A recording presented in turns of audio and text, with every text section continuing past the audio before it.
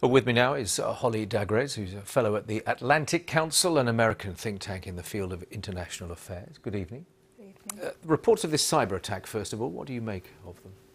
Well, it's an interesting um, news uh, headline because of the fact that this happened just right after the drone was struck down. And it, funny enough, this was actually planned weeks in advance in retaliation of the tankers, but the, the decision to actually do it in response to the drone attack is what's really useful knowledge right now for us. And it may have disabled some systems in Iran, is what we're learning.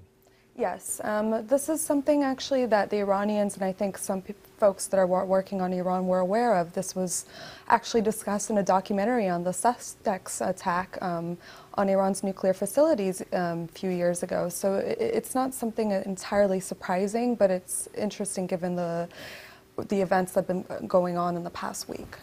What of the wider picture? We saw Mike Pence there in that uh, footage talking about the fact that, as far as the Americans are concerned, there could be talks with no preconditions. What, do, what does that point towards, do you think?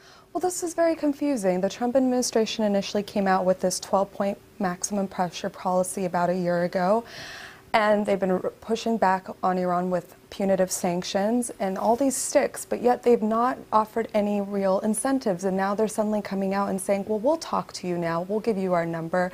And the Iranians are looking at this very cautiously. They saw what happened with the North Koreans, and they're looking at this and saying, well, unless you're going to really offer us something good, like coming back to the Iran nuclear agreement or rolling back on these sanctions, or more importantly, providing a humanitarian goods channel, you're not going to see the Iranians coming back to the table and talking with Americans anytime soon. Uh, and could you imagine any of that list being put in front of the Iranians as part of a potential incentive to talk?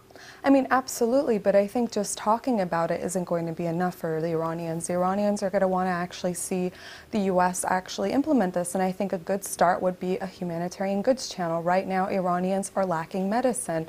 Right now, Iranians are struggling to with the basic goods. So if they can just pass through this channel and start to show some incentive, I think then you can maybe see the Iranians talking more. But until then, I think they don't trust the United States with everything that's going on. Well, of course, that runs counter to what the sanctions are seeking to do, doesn't it? Absolutely, and that's where the problem lies. The Trump administration has put out this Iran policy that we're not even sure we understand. It's not um, going, it's going one way um, with economic collapse one day, another day they're saying we should negotiate. And so the Iranians are looking at this, trying to make sense of all of it. So they need some real incentive to move forward. Okay. Holly Dagres, thank you very much indeed for coming in.